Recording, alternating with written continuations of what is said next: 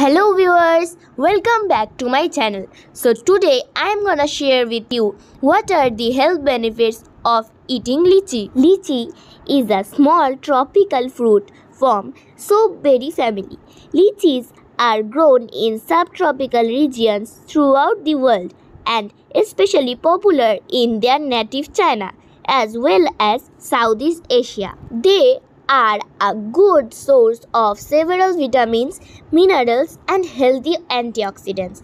Lychees are primarily composed of water and carbs, most of which are sugars. Compared to many other fruits, they are low in fiber. They are also high in vitamin C and offer decent amount of copper and potassium. Lychee has lots of health benefits such as powerful antioxidants in lychee prevents various cancers, especially breast cancer. It also helps to promote cardiovascular function. Lychee contains high amount of vitamin C which is very effective to strengthen immunity.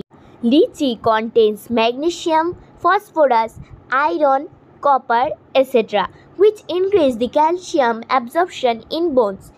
Lychee is a good source of copper which increases the red blood cells in the blood. Lychee contains high amount of potassium and low sodium which regulates blood pressure. Lychee is rich in vitamin C and natural antioxidants which rejuvenate skin and make it radiant.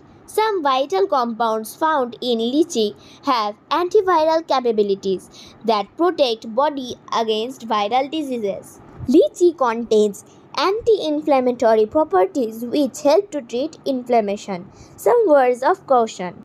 As lychees have high amount of sugar content, diabetic patients should not eat too much lychees.